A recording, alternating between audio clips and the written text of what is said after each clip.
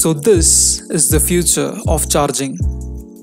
Chinese smartphone giant Xiaomi has introduced a brand new form of charging. It's the Mi Air Charge technology.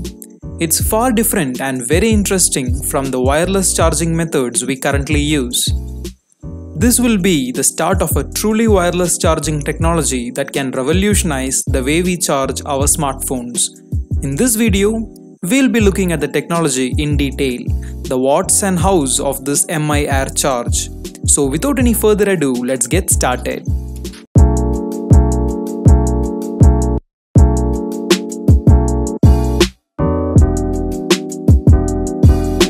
Mi Air Charge enables users to remotely charge electronic devices without any cables or wireless charging stands. Mi Air Charge uses a technology of space positioning and energy transmission. The charging box, or what Xiaomi likes to call the charging pile, has a 5 phase interference antennas built in.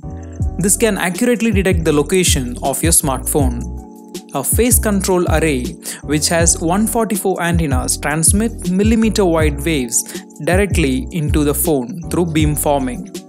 This can charge your phone even if there is an obstacle on the way.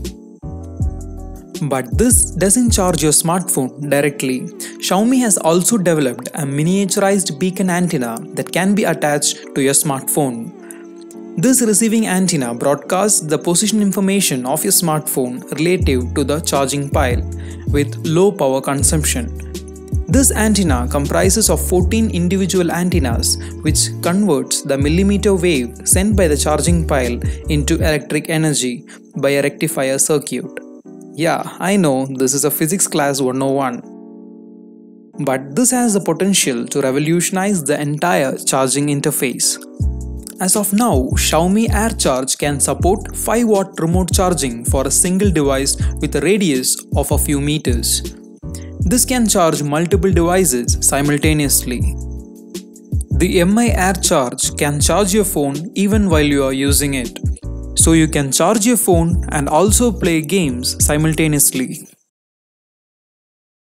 Xiaomi is very confident that in the near future, the Air Charge can be used to charge smartwatches, bracelets, and other wearable devices. And they are working on making our living rooms truly wireless. This is still a prototype technology and hopefully may take a few years to become commercial. But this is a bold move and gives us a glimpse of the future of wireless charging experience. Wireless electricity was a dream of Nikola Tesla, and it's good that it's coming true.